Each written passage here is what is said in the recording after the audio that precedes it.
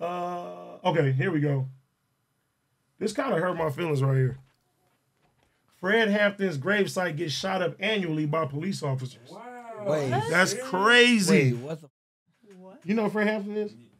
No. Look at this. I don't know who that is. No, no, no, no, no. I'm just saying, like, you getting shot up by police. Like, the He was the leader of the black of the Black Panther Party. I'm not talking about that. I'm talking about like That's some- fucked up. who would pull up Yeah. to a gravesite and shoot it up. Well, no, he was the leader of the Black Panther Party.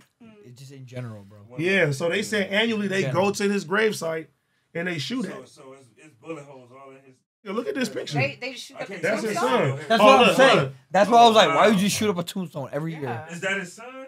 Yep, that's his son. So they killed him. They killed him when his wife was uh, pregnant with his son. hmm Did you see what's a what's the movie called? Judas and the um Yeah, the black and the Black Messiah. The Black Messiah. Yeah. Yeah. So yeah, man. It, But you watch you watch Dear Mama, yep.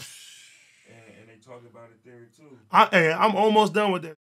Yeah. That's hey, I ain't gonna lie. I thought that I seen everything like Tupac related, and I was like, I don't think I need to see another documentary. Yeah. That it really opened up. Yeah, this is like from Yes. any point of view. You know what I'm saying? And you know, she took on his estate after he died, so it's pretty much a lot of shit that didn't get talked about just getting talked about. And it's a lot of like he did like a lot of uh, daytime TV shows that we never seen, like interviews we never seen, and how he talked. And it's crazy listening to all his early music because we know about the hit hit 'em up Tupac, Mhm. Death Tupac, but we don't really know about the message he was spreading before that. You know what I'm saying? The the music he was making before that. So it made me look at him different. I was watching it earlier today because I'm like, man, I ain't really watched shit like that. So let me watch it. And I watched a couple episodes, and I'm like, damn. I look at him at a different light now. I look at his mom. Hey, me His too, because yeah. he really, he really was on that activist talk and everything Yeah. like that. Man, it's it's crazy because you can see like the genius that he had and the switch that he did when it came to his music, and it's and it is kind of sad too because it's like, damn, how did he go from this to just getting Yeah. turned the fuck out? But it, it, Legendary either either way. but he was so fucking young. But it was a series of events though. He just kept getting into shit to where it, it was like, He was angry. yeah, it, it it it you know it was the you know the case where lady said he did what he did to her that made him just go over the top because he like I make music to you know to power my women like you know what I'm saying my black women. I love my black women. How can y'all think that I did something mm-hmm. to this woman? And you know he even beat those allegations but it was something else that stuck to make him stay in jail. But after that you know being in jail in New York you know what I'm saying you you turned up. Being in jail period. This that's a cage you know what I'm Especially saying back then. back then. But he was so fucking young too, though, bro. Like it, it's crazy. They they fucked his mind up. Mm-hmm. Yeah, he started in, getting to the I don't give a fuck. Yeah, after a yeah. That's when that's when he when he got out of jail. He started spitting. That that's when he became a new person.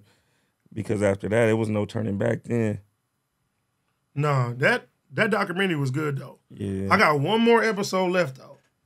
But how many? like, how many? How many? It's episodes? five, I think. Oh, I'm at I'm at number four. So yeah, I got two. Yeah, more. it's five though. But I, man, that one right there.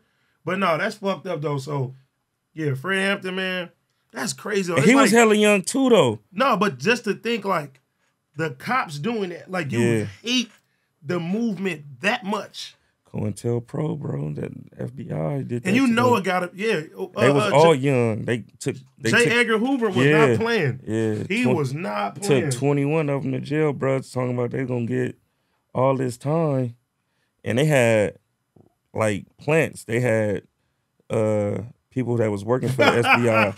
FBI that was oh my uh god, what what they saying? I'm gonna read it. MJ looking at Hove different with the hoodie back. Oh my god. Oh my god! Hey man, come on man, come on man. God. You would catch that comment. Hey. All right, look. They asking in the chat.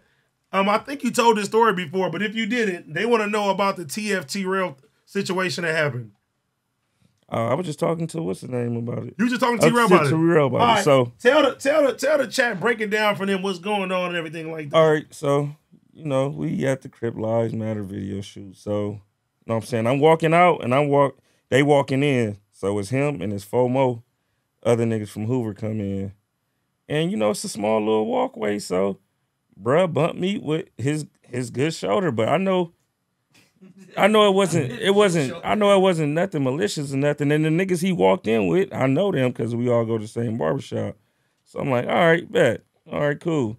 But then I go outside and I didn't even TF and them wasn't near when I first got there. So now they out there and the nigga take his shirt off and I read his tattoo.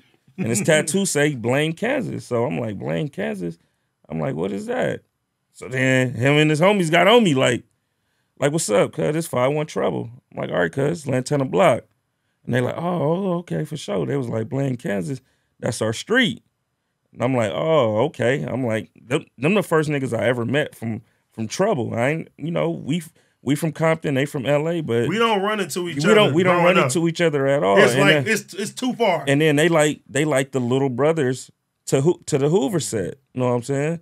So if you just put it like this, if you run into some Hoovers, nine times out of ten, it's probably a nigga from Trouble from there, but he never gonna say Trouble. Mm-hmm. He just gonna go along with the Hoover set. You know what I'm saying? And that's what it was. You know what I'm saying? So I'm like, I'm like, all right, Trouble, Trouble Gangsters. I heard of y'all before. All right, bet. Well, I'm from Lantana. You know what I'm saying? And all I was doing was reading his tattoo, but I I wasn't turning nothing down. Like, nigga, I'm I'm I'm I'm leaving. I came to the video shoot from the probation office. You know what I'm saying? It was right down the street. So I'm like, nigga, you got a video shoot? He's like, yeah. I'm like, oh, nigga, you two minutes away. I'm not even gonna get in my car. I'm about to walk down there. So I walked down there and you know what I'm saying, was just chilling on the set all day. Hey, these niggas is crazy in the chat. Home tell the real story. Nigga, that's Streets the- know the truth. You turned it down. Man, Man, listen. Hey, for the record, this is who I'm under from my neighborhood. This is my real big homie. Hey. It ain't nobody turning down nothing Hey. over here. I'm gonna put it like this for y'all niggas who got me fucked up. Listen, listen, listen, my niggas. nigga, I, I brought my hood back from the dead, nigga. My hood was my hood was quit was quiet for a long ass time, bruh. Until I came around and I got about my shit, bro. So y'all got me fucked up. I ain't turning shit down, nigga. On everything. I am Lantana, nigga. I am Lantana, nigga. Whoa! Period. Everything, everything. And then, and then his little homie A ni- came in and, and brought this a lot- shit global, hey, hey, hey, a lot of niggas didn't know what Lantana was until I told them about it, bro. Facts, though. Know what I'm saying? BG homies, BG homies wasn't kicking up dust the way the tiny gangsters was kicking up dust, nigga. Hey, And that's all I'm gonna say. and I wouldn't even been from the turf if it wasn't for your nephew. Man, exactly. Real shit. Someone said crash out time. no. It ain't no crash out. Y'all just need. I mean, I ain't in front of the camera all the time, so these niggas, these niggas don't know me like that, bro. But Hey, whole revamped it, man, and I bought us on a bigger yeah, scale. cuz. exactly. You feel me? I'm talking about on the on the street scale. Oh, on the street scale for sure. You know what I'm saying? Listen, yeah. y'all, you and and Flo and all y'all was the reason I said, all right, cuz I'm getting put on over here. You know what I'm saying? Cause y'all niggas could have easily been from I could have went the yeah, other way. exactly. You know what I'm saying? But his nephew, who was also a sagger, you know what I mean? A sagger? Nah, nigga, that's what we say. No, that's what we say, niggas. What does that mean? Sagger, the nigga, uh, that's a loke that's in the street. there's a, that's, a nigga that's that's doing everything, beat niggas up, you know, You know what I on mean? Whatever else. Stuff. Yep. This is like Japanese. hey, Oh, yeah, I'm like, Hey. is this a foreign language? I don't no, know. and that was and that was my right hand man. Yeah. Nigga lived with me. You couldn't even you couldn't even blink at me without the nigga. You know what I'm saying? That's how we used to get. Oh man, I tell you what, when that nigga got locked up, I was in trouble. Everybody, Oh yeah, because you got to catch all them Hey, everybody took everything out on me because of my homeboy. Yep. And yeah, it was a. Uh, but that's the reason why the homies respect me because nigga, I ain't turned down nothing. I stood tall throughout whatever any type of situation, whether the police came, you feel me? Whether nigga mm-hmm. it was some some gun, some gunplay, whether it was some fights, whatever the Yeah. fuck it is, a nigga always stood ten toes, and niggas was on it. It was. Hey, And, and and you ain't shit if the police ain't never whooped your ass and took you over there mm-hmm. and dropped you off in a mm-hmm. rival neighborhood, nigga. You ain't shit. If you ain't never had that happen, you ain't shit from where you from, bro. I'm not shit. from where I'm I guess. I ain't shit from where I'm from. You ain't Yeah. from nowhere. Get your ass beat, niggas. Niggas break into your car, niggas flatten your tires. You don't want to tell who sell dope, who got the guns. They gonna do whatever they can, bring you in for no reason. All that dumb shit. I'm I'm not trying to glorify it, but that's what I had to go through. nigga, I remember, nigga, I remember the, the motherfuckers. They questioned me about you before. Yeah, exactly. You know what I'm saying? That's y'all let me know niggas pictures of the in the in the in the station. Like what? And then they come and break into my house. Know what I'm saying? Not not just raid my house. They break into my house. Nigga, nigga in the drawers. Oh, you Jehovah. Oh. I'm looking at them like, man, They said so. Ad, the police whooped you and dropped you off in the ops neighborhood, nigga. That shit happened a gang of times. Bent, Yeah. bent, bent the nigga keys, all type. Of, listen, my hood on my block is where we call that the top. Everybody was in front of my Mm-hmm. house. That's where all my homies hang out. So anytime the cops would come, they would know what time it is. Hove, he's from the hole. We got two sides. He the whole boys. I'm a top boy. That's where our sexes is and shit like that. Like, like Hove said, man, don't let this motherfucking camera fool y'all, man. Niggas joke, niggas nice, niggas change their life when it come down to shit. But man, that shit was real, hundred percent. Yep, and y'all seen them. I know them. I know they didn't seen all them Compton documentaries with the police. Y'all didn't seen Blondie. Know what I'm saying? Y'all didn't seen Lad. Y'all didn't seen They said- Reggie White Jr. Hey, they crazy talking about pause. what? No, but that's what Top that's that's what we call Top no, that's what we call The- the- that's the top. That's the And top of the hood. hole. That's the top That's of the the hood. that's the top of the hood. Like, huh? yeah. And the whole because it's only one way in, one way out. It's dead end streets where This, I where this I grew up. Caldwell, at. this Caldwell on my neck You mean a is my block. Yeah, it's cul-de-sac. It's three cul-de-sacs where I'm from. This Caldwell on my neck is on my that's this is my block. The 2418 that's on my legs, that's the street. That's the hood. Gang tattoo. Oh yeah, we got them on us. That's what I'm saying. That's the got them on us. my God. So, Somebody you're, said top so you're telling me I'm with a gang member? Oh yeah, what you thought? You know she's being yeah, she's being sarcastic. they said, "Hey yo, the hole." Nah, hey look, the hole is different though. You got the top, you got the hole, and then suicide is from the third. That's his. That's suicide. That's what suicide ran. You know and what I'm saying? And then you got the park side. They the park side. Yep. I feel like I'm on the hood Sesame Street. Yeah, like, uh, No, it's it's it's different though. But it's like you know, top boy. but niggas to get into it and be like, nigga, you from the Word hole, the I'm from the top. You know what I'm saying? Like, it sounds it sounds sounds a little You sus got, you got the block. You got the blocks too, though. Like in Yeah. between the streets is in between where Ad uh, grew up and where I'm at. It's, it's you know it's streets that run east and west. That's we By call way, the blocks. The neighborhood is so nice. Yeah, Bro. we, we we live on the west side. The west Bro. side is the best side. Everywhere on the But- west side but- of everywhere but- you are in LA but is the not best e- but not even that though. Like everybody says that when they come to LA, they be like, "Damn, this is the hood. All this shit look nice." It's like, nigga, bro, have you ever seen the '60s? The fucking over I mean, Man, the look at overhills, the overhills got the overhills got got- five million dollar houses. and they lokes though, Right. over there. That shit is crazy. Nigga, I got homies from fucking uh uh, uh Ghost Town, all that shit, bro. Oh. who got pools in their Man. backyard, bro. San Pedro, San Nigga, Pedro, that really five would million tear some shit up. You know what I'm saying? But everybody think, oh, Compton look like the trap, nigga. If you go drive to Compton, it ain't no place in Compton that look bad though. Nah, it is some places look bad on the Well, east look, side. no, the east side is bad. on the east side. The east side is bad. Yeah. And then when you go to some of the, I mean, you can say the Wilmington, Wilmington Arms and Oh, shit yeah, too. yeah. You feel me?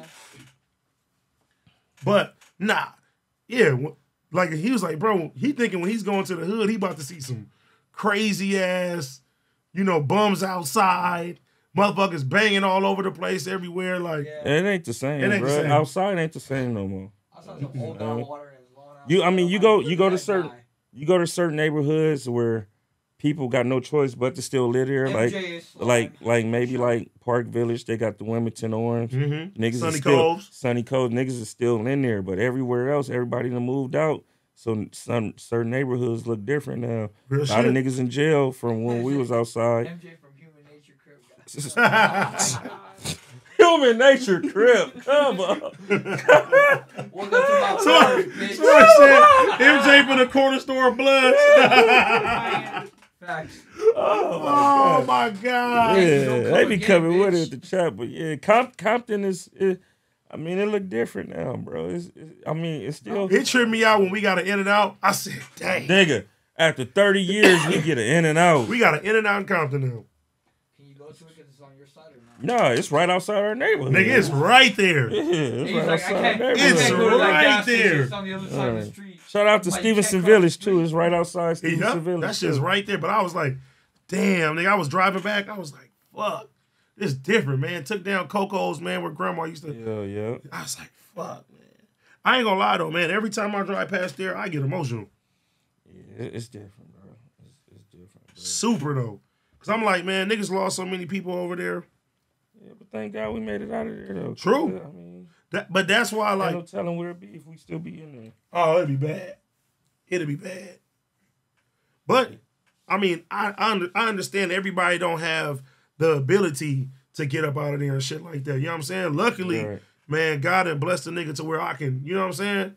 But it took it took for some unfortunate situations to get us up out of there. Though we didn't leave under the best circumstances, but I mean, we still made it out of that motherfucker though, and then made it made a way for ourselves afterwards. And you know what's crazy? Because before I left the neighborhood and before shit started really going good for a nigga, that was probably the most peaceful time. Like, it was no bullshit happening for a while. Yeah. Like, nothing for a while. And I really had got the intuition. I was like, you know what? Out of nowhere, I just had like a real intuition out of nowhere. I was like, if I stay here much longer, I'm going to die and I really was stressing out. Credit was fucked up. You feel me? I ain't even know nothing about credit like that. Mm-hmm. And I started making a little bit of show money, but not enough to sit there and like, you know what I'm saying? Like move out and take care of myself and shit like that. But I really felt trapped. And if it wasn't for my Uncle Chris, my Uncle Chris, man, let me live with him for a, for four, five months. Like, nigga, I don't I don't know where what would happen to me because the day that I left, the next exact day, my neighbor got ki- well not killed, but he got shot. What six times? Nine times. Nine times. He got shot nine times In your driveway. In, in my driveway. Right after I left. So I know everything happens for a reason and shit like that. I had that intuition for a reason. You know what I'm saying? Luckily the homie is still here. But yeah. Shit was crazy, man. Not to bore y'all though with our old hood stories and shit, Yeah, yeah, but yeah, we just yeah, have to yeah, give y'all a little rundown about Yeah, yeah, how yeah, yeah. we grew up. All right, let's move on. Let's get to something else. Let's see. What's a good one? What's a good one?